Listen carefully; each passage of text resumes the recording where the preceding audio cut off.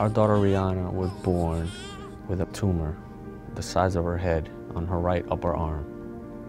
Her arm was huge and it didn't look good.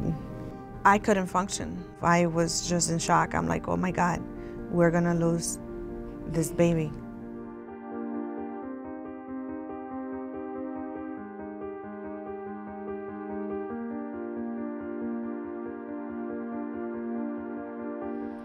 We had our doubts, but then we spoke and said, you know, Rihanna could be a bridge for helping other kids. So we were all for it, and we began the treatment. Rihanna was a good candidate for larotrectinib because the tumor she had had a gene mutation which is specifically targeted by the medicine. Basically, these tumors are pretty resistant to chemotherapy. Our only other option other than a new medicine was really to do surgery, and surgery alone would have caused debilitating damage to her arm. The tumor was rather large and it was pressing on, if not involving, some of the very important structures in the upper arm that help control the muscles uh, of the lower arm.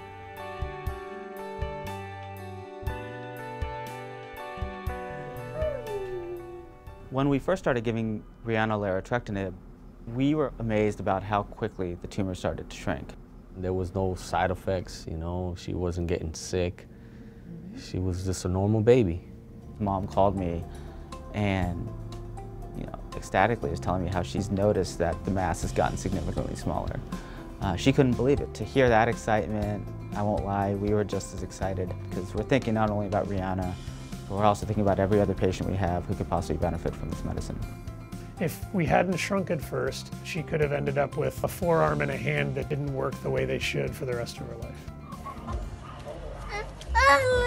She has full function of that arm right now and no evidence of the sarcoma, of the disease.